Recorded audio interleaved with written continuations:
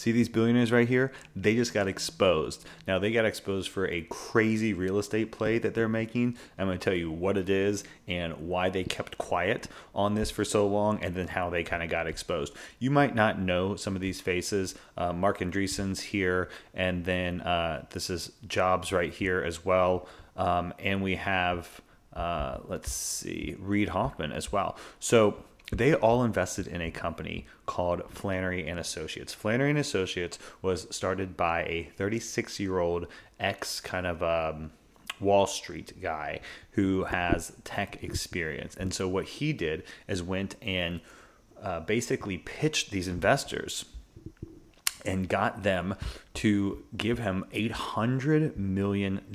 Now, we know all the details kind of about their partnership based off of um, a few things, but these court documents were one of them because the company had a multi hundred million dollar lawsuit that they had to get into after their investment. Um, you know, sealed or culminated or whatever. Like basically, the business they invested in got into a hundred million dollar plus lawsuit, and uh, it was wild. So, what exactly are they doing? And to best understand it, I want to show you this map right here. This is the Travis Air Force Base in Fairfield, California. I'm going to zoom out. Do you see what this is close to in California? Very close to Sacramento and very close to San Francisco. Now, this might not be any surprise because a lot of tech people live in San Francisco, of course, and it might not be a surprise because it looks geographically in the middle of Sacramento and San Francisco. But what they want to do is very, very surprising. So they're buying up tens of thousands of acres of farmland here. And they're going to or want to start their own city, a brand new city away from Sacramento and away from San Francisco. And they want to do a lot of things with it. They say they want affordable housing. I'm sure they want different tax laws. I'm sure they want different uh, treatments of homeless people uh, or none at all. You know, I'm sure they uh, are looking at safety.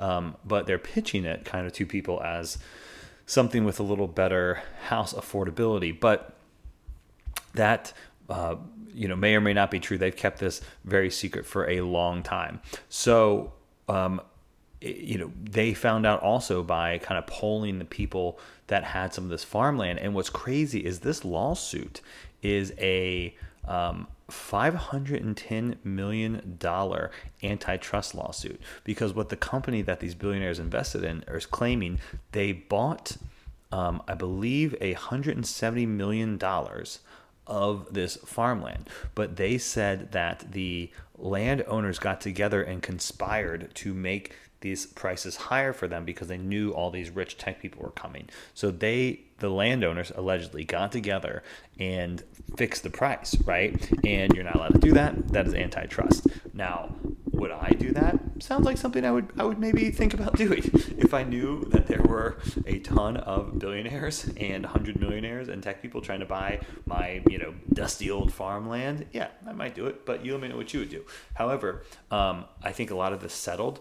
Um, they can they said that. Uh, I believe, like I said, they bought it for 170 million right here, and they um, the company that the billionaires invested in alleged damages of 510 million and the damages are from overpayment for properties, um, and they continue to increase. The defendants are jointly and um, severally liable to pay Flannery treble damages for lost profits.